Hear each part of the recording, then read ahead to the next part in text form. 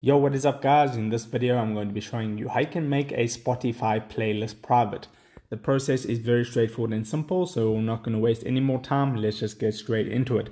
So as you can see, I am logged into Spotify right now. Now to make a playlist private, it's very straightforward and simple. Just tap here where it says your library at the bottom. Once you've tapped on that, you might see all these different tabs at the top just tap on playlist there at the top to filter it by all your different playlists.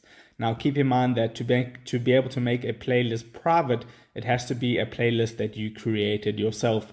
So if I go to um, this top gaming tracks playlist, for example, and then I tap these three vertical dots there, and then I scroll down here, there's no way to make that private. But if I now go to a playlist that I created, so I'll just go back again, and let me just find a playlist that I created real quick.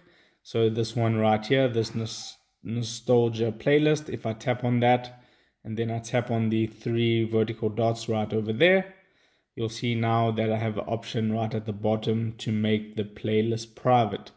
So all you would need to do is tap on make private. It's going to ask you, are you sure? Obviously, then you just tap on make private and it says playlist is now private and that's the process. So if this video helped you out, don't forget to drop a like onto it and subscribe for more. And I'll see you in the next video. Take care.